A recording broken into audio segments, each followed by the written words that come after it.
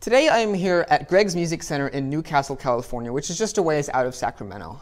Now, I've known Gregg for actually a very long time. Um, way back when, I think 2008 or thereabouts, we actually won the Roland Atelier competition together. Um, I was in the, the Young Artist um, category, and he was in the Seasons Pro category, but we both won our respective divisions at, at the same time, which I thought was pretty cool. Uh, and Gregg actually has a store here in Newcastle, which is where I am today. And he specializes in having uh, high quality pre owned electronic organs, and they're all very, very cool. And now, for a long time, I've been an advocate of um, buying used pianos because you can get such a good deal on a used piano versus what you would have paid for when that piano was new. You can get absolutely fantastic deals. And the same thing is 100% true with electronic organs. And you can find amazing deals like this awesome Lowrey organ and also like AT900 um, organs that cost a lot of money when they were new, but you can actually pick them up for a very reasonable amount and um, when they're used. And these ones here are in excellent condition and they all work very, very well. The Lowrey organ I'm sitting at here today has some really cool features. First of all, you have a backrest. What organ have you ever seen that has a backrest? And it's a really high quality backrest too. It looks like you can adjust it with these knobs and you've got all these really cool features. It's really sturdy. It's made with this nice high quality wood. And on top of that, the bench has storage, but what's cool is they will actually open up. And so you've got all this um, storage compartment for like CDs and things like that. And there's a little section here, and uh, it's all this nice wood, and it slides away, and there's a little lock underneath that you lift up to open it up. And then it slides open. And there's actually the same thing on the other side of the organ as well. There's another slot here. This very hefty piece of wood can come out. These are like slots for CDs, and this would be various little um, gadgets and things that you wanted to keep inside of the organ. And for some reason, the first thing that comes to my, my mind when I see these drawers is you can hide snacks in there. I don't know why that was the first thing that came to my mind, but it was. So now let me open up this cover and show you around this awesome Lowrey organ. This is a Lowrey uh, Palladium organ, and a, a, while back I reviewed a Lowrey Royale organ, but this is a step above the Lowrey Royale. And as you can see, it has this really cool roll top desk um, cover, which I will roll up just like so to reveal the inside of the organ. I'll get to all this stuff in a second. There's a lot of cool things it can do, but first I just want to talk a little bit about this lid, uh, this fallboard, this cover, whatever you prefer to call it. It's a really nice feature. It has a really high quality feel when you roll it up and down. It's smooth, it has a nice weight to it, and it also, it just looks cool. Um, you know, when the organ is closed, it looks neat, and of course, when you roll it up, uh, it also looks neat. There's a little metal pad under here for uh, little handholds, and it's very, very nice. Now, as you can see, this is a very fancy organ. We have lots of cool features. We've even got a touchscreen here. You can go in here, and you can change dials and all kinds of stuff like that. Uh, can I escape from this menu? I'm sure I can somehow. Uh, maybe not. Anyway, so it's stuck on that screen for now because I can't figure out how to exit out of it. But it has a touchscreen, which is pretty cool. You can also use buttons to scroll up and down with. I just realized that. Feature clear. Ah, that's how I exit out of the menu. I hit feature clear. That makes sense. And so there's all kinds of things it can do, and there's so many cool features. So first, let's talk about the lights. Now, as you can see, we've got all kinds of cool lights here that show the display level of your different manuals. This is your lower manual, so if I place something here, you can see that it actually will change it. And uh, red means, I assume, that it's like this is four full lights. If you push it again, it's like four and a half, and then a full five, and then five and a half, and then six. And so it's a pretty neat little feature here. Now we also have a lot of cool lights. As you can see right here, there are uh, small little LED lights underneath the floppy disk drive and then also over here with the CD disk drive to help illuminate the light, the buttons that are here when you're running at night. And then there's uh, some more cool features over here. This button here turns off the pedals. So if you push it and the light is on, the pedals will be off. If you turn it back on, there are the pedals and they're making noise. So if you don't want to use the pedals or when you get in and out of the organ or your feet, you want to just rest your feet there, you can turn off the pedals and not have them make all kinds of noise. We also have lights for the pedals, which is one of my favorite features. It's a really nice, very bright LED light bar that is underneath of the organ here. As you can see when I turn it on and off, they make a great difference. This is probably one of the best pedal lights I've seen in an organ. It really, it casts light over all of the pedals and it's very bright and it's, it's really focused and it's a really nice feature. We also have a light for the music desk. Similarly, it is a LED light. It's kind of subtle here because we've got lights overhead, but as you can see, there is a light bar similar to the one under the pedals, and it can turn on and off at the touch of a button. Very nice feature as well. Another cool thing this organ can do eh, with lights is you have, as you can see, a bunch of letters here talking about the names of the notes. So you got A, A sharp or B flat, B, C, C sharp or D flat, D, blah, blah, blah. And you can actually toggle those. So if you push this button over here that says ABCs, it does not sing the ABC song to you. Instead, it lights this up. And there's also two levels of brightness there. You have the medium, and then you have the bright, and then you can turn them off. And the light over here for ABCs actually changes color. The orange light is low volume, red is brightness, and then blank is off. So it's a very nice feature. I personally don't need it, but I do like that feature because it will keep people from putting, I'm sure you're all familiar with those little stickers people will put on the keys. This way here, you don't have to put those stickers on the keys. It's actually built in, but if you don't need it, you can just simply turn off the light and completely ignore the letters, which I really like that feature. I didn't even notice the letters were there when I first came up to the organ. Now this organ is kind of inspired by like a theater organ, as you can see by the, the whole shape of the organ, the way it kind of curves up and around. And we also have these uh, tabs that we can push on and off to activate various organ functionalities. These are flute sounds and flute percussion like you would have on a pipe organ, and also a theater organ. Percussion is something a uh, theater organ would have.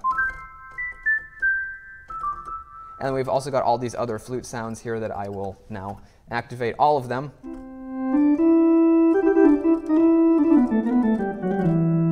We also have strings as well. I'm going to turn off the flute sound so we can hear just the strings. There's also vocal and string sustain, which also works on the vocal ensemble. And as you can see, the red light means it's activated and the light is off means that there's nothing going on there.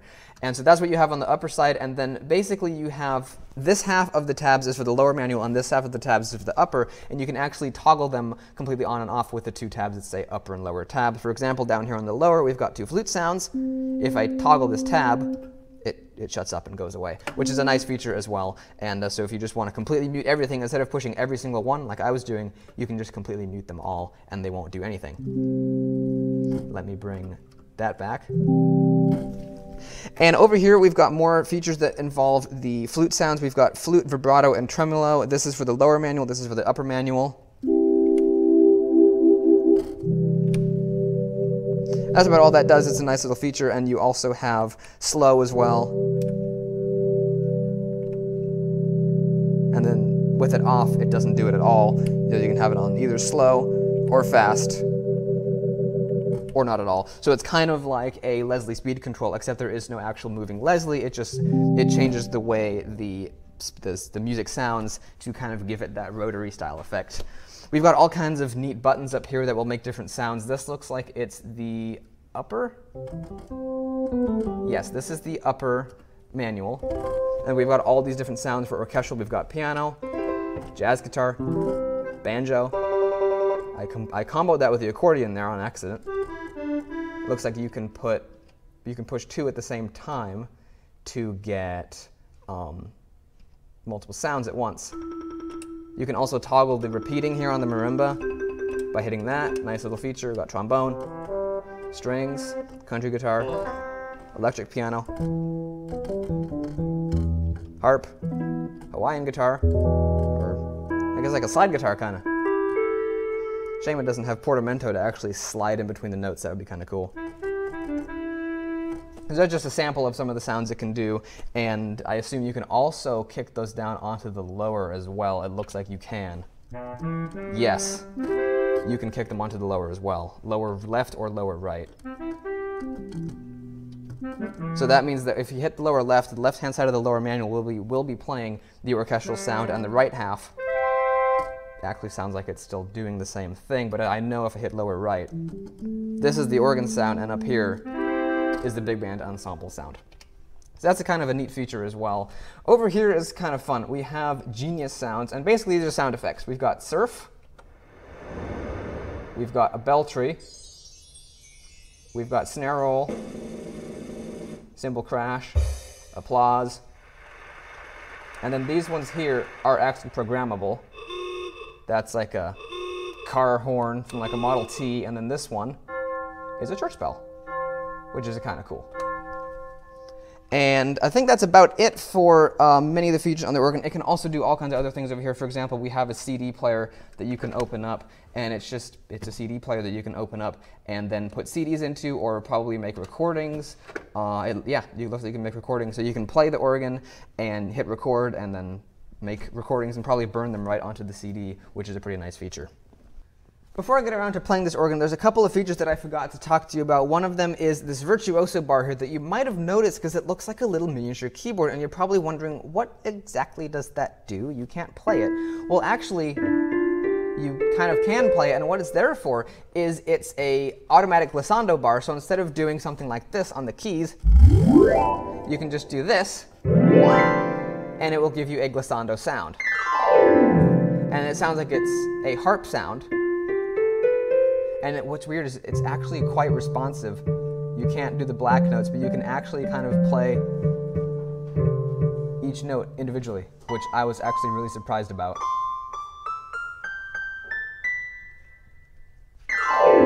But that's what that's there for, in case you noticed that and you are curious about what it does.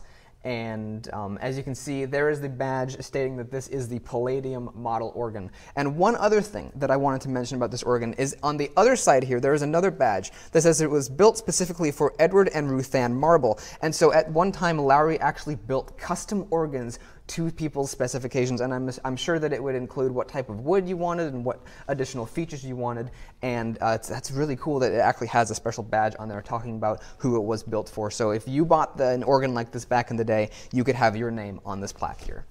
One final feature I forgot to mention, and it's honestly one of my favorite features about this organ, is actually the music desk. Now, as you can see, the music desk is kind of far away, and um, it would be difficult to read sheet music at that distance. You might have to lean forward or something. I think I could probably read sheet music, but I like to have the sheet music somewhat close to my face anyway, especially if I'm trying to figure out what some weird notation is.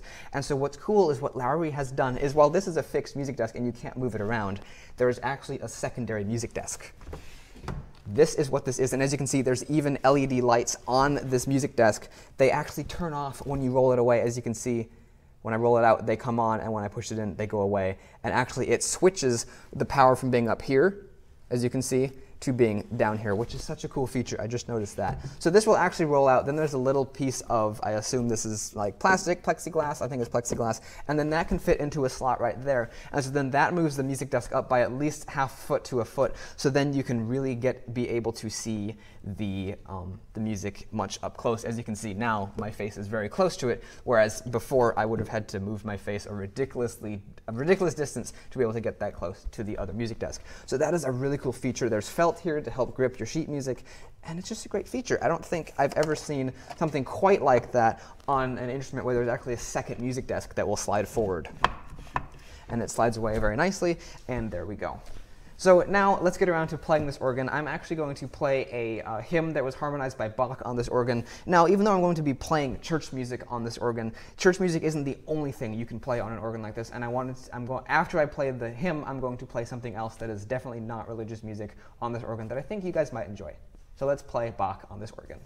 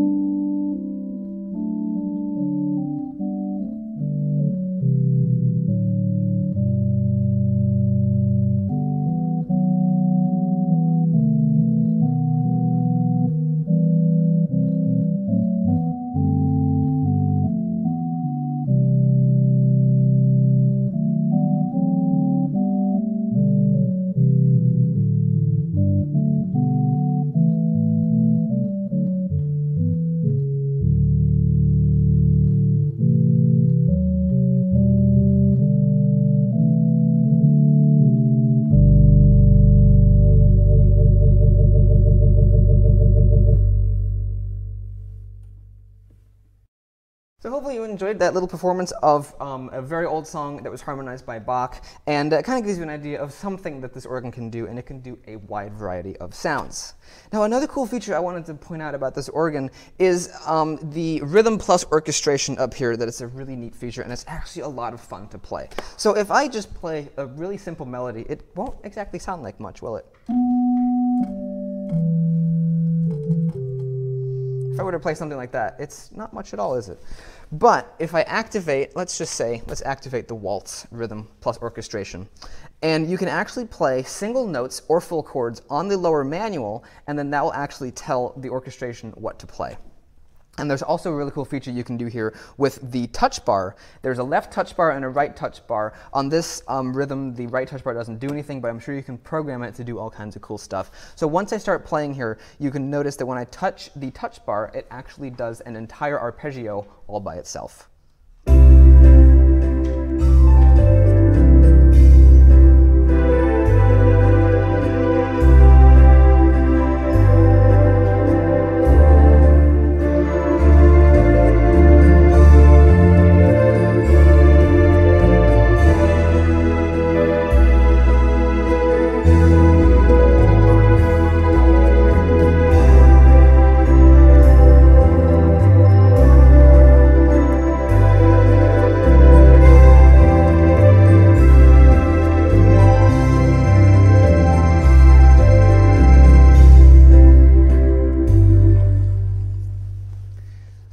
Little sample of another cool thing this organ can do. And while for some of you who actually want to play real music on an organ, that might not interest you, but it's actually kind of helpful for, say, improvisation because it will actually just play a bunch of things for you and you don't have to worry so much about what to do. And it's actually kind of a lot of fun to just kind of sit around and jam out with the organ.